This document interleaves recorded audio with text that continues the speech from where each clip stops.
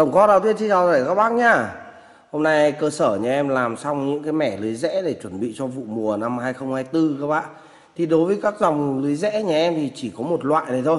Nhà em chỉ có hàng là mắt 8 sợi 15 này. Nhà em chủ yếu là làm mắt 8 sợi 15 Mắt 7 sợi 15, mắt 6 sợi 15 à, Đối với hàng lưới này thì nó năm nay nó sẽ có một mặt hàng mới nữa.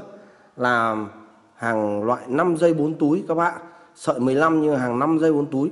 Và lưới rẽ năm nay thì lại đặc biệt hơn nữa là lưới không bay màu các bạn. Lưới này nhá 100% của nó, hàng cao 100 mắt của nó là không bay màu các bác nhá.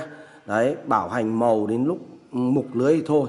Đấy, các bác thấy năm nay có rất nhiều điều mới năm 2024 này. Thì trước khi đi chi tiết về cái dòng lưới rẽ này thì em xin nói qua về cách thức mua bán giao dịch.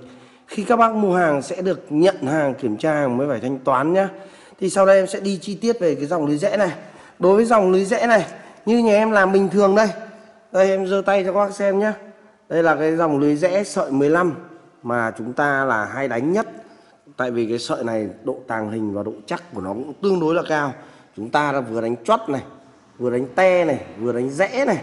Đấy, cực kỳ ok luôn riêng dòng lưới này nhá các bác nhá. Đấy, đánh chót các thứ thì quá ok luôn con chót thì các bác biết rồi nó lao vào sáng sớm thì rất chi là nhiều luôn lao từng đàn luôn.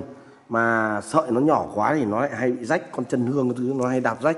Nhưng mà đối với sợi 15 hàng cao cấp này nha các bác nhá thì đảm bảo uy tín chất lượng luôn. Đấy nhà em làm thì có 100 m này 50 m này 20 m này 30 m này.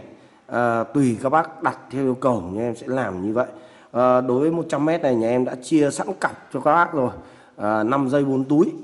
Còn đây, nói chung là lúc chia cọc thì em cũng xin nói trước như này. Chia cọc thì bọn em không chia đều à, chia chia đều 100% sợi nào cũng như sợi nào được các bạn. Có khi là có sợi ngắn dài hơn nhau hai ba mươi phân nhưng mà khi căng lưới lên thì các bác yên tâm. Các bác cứ kéo hết cỡ cho nó bằng nhau ra thì lúc nó sẽ giãn ra. Nó giãn ra thì tất cả các giường nó đều bằng nhau hết các bạn đấy đánh một thời gian nó khác bằng nhau hết đấy, lúc đầu thì có thể là sợi nó hơi ngắn hơn tầm khoảng 20 phân thì các bác cứ đánh thoải mái đi. Một thời gian là nó giãn bằng nhau hết các bác nhé còn về các cái dòng lưới này thì cũng nhiều cơ sở nói là dòng lưới thái. Thì đến với nhà em tuyên nhá. Nhà em tuyên lúc nào cũng tư vấn thật cho các bác luôn. Dòng lưới này là dòng lưới tàu trăm trăm các bạn. Dòng lưới tàu nó mới giá nó mới rẻ thế. Hàng này của nó là cao 75 mắt. Là dài là 180 m thu lại còn 100 mét à, sợi cước là sợi cước 15 hàng lưới tàu nói luôn là hàng lưới thái nó nó không có sợi này đâu các bạn. Đấy lưới thái nó sợi 16 cơ. Còn đây của nó là sợi 15 các bác nhá.